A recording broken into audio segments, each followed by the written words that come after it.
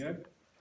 So, um, last Wednesday, I was filling in, I was on a swap with another lieutenant at my department and, uh, was riding on his engine.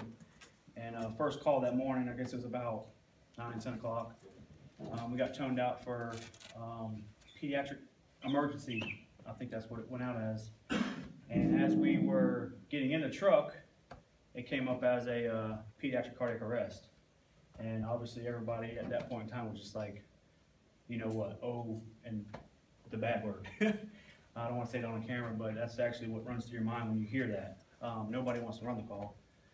So, um, at that time, because the station I was at, usually we have three-man trucks, but because it's a station that has a, a, a tender, which is a water truck, extra water supply for us, I went ahead and had that third person run, uh, run the call with us, cause I knew we were gonna need the, the manpower. Uh, so we get, uh, going down the road, um, and prior to getting there, the handout that Mike, uh, handed everybody out, I actually pulled up and was going over the dosages and what medicine needs to be pushed first, so that actually helped out a lot with the call. And then, um, obviously, uh, we found out that the call is on the side of the road. So we're looking for an intersection that they gave us, and at first it wasn't the right intersection, so we, we were a little delayed, but not much, but we ended up getting there. And it was a vehicle on the side of the road, a nurse had stopped prior to us getting there, and she had, uh, started resuscitation efforts, um, prior to us getting there.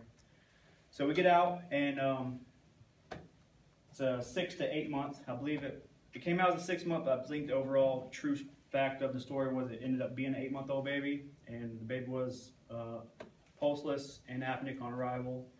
Uh, first initial rhythm was asystole. Um, so I ended up taking over from the nurse that was on scene. I started chest compressions. And um, the moral of the story is prior to uh, the ambulance getting to the hospital, the, uh, the baby regained pulses and um, started breathing over the tube. Um, we found out two days ago that uh, from us responding and doing the cardiac, or you know, doing the resuscitation efforts, and um, pretty much doing all the steps that we needed to do in reference to cardiac arrest. Uh, baby ended up coming back with pulses over 130. Um, they transported the baby from Citrus to Tampa General, um, and we found out two days ago that the baby has great brain function. Uh, pupils are reactive to light, um, moving all extremities, and looks like it may get discharged uh, sometime this week.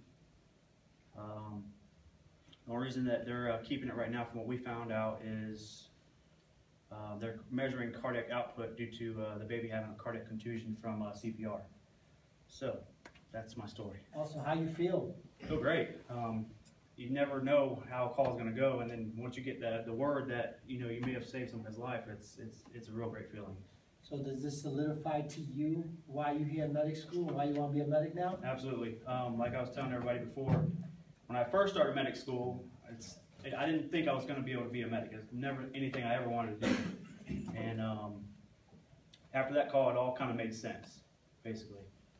Um, so I'm here. I'm here for the long run now. Man, awesome. That's a great story, man.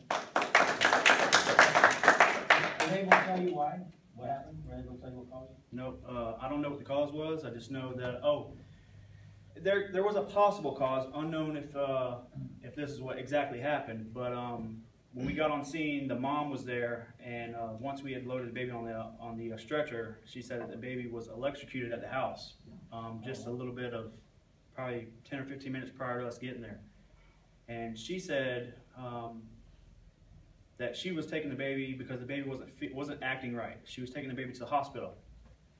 So she picked up baby, took the baby to the car, and when she got to the car, the baby went limp. And that's what prompted her to get in the car and start going towards the hospital, which she did. And um, I guess that at that point in time, when she was going on the road, she realized, hey, you might need a little more help than driving in her car. So she pulled over, called us, and that's what caused us to get there. Wow. Awesome, awesome. Great Great job, story. man. Great Thank job. you. Proud of you, man. Thanks. Very good for you and your crew.